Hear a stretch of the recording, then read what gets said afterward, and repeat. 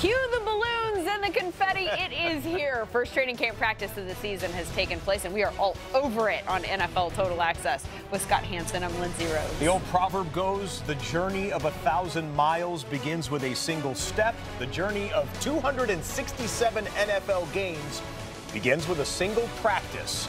So Romo and Witten are very good friends. So we're going to go to someone who does not have a horse in this particular race. MJD, are you two expecting him to pick up where he left off? Most definitely. Uh, Jason Witten wasn't a, a, burner down the field. Uh, let me throw some numbers out at you because if we're talking about him picking up where he left off, it's worth pointing out that where he left off wasn't exactly the same place that he was a few years before. 2017, right. Witten's lowest yards per catch yards receptions were the lowest since his rookie year. Is picking up where he left off even good enough for the Cowboys?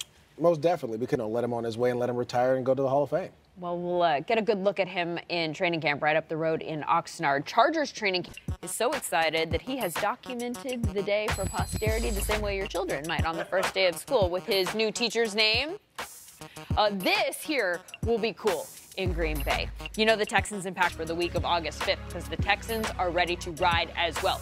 And speaking of riding, Tom oh. Brady posted this video of him today. Old Town Road, apparently against his manager's wishes. And look who responded. This is Lil Nas X.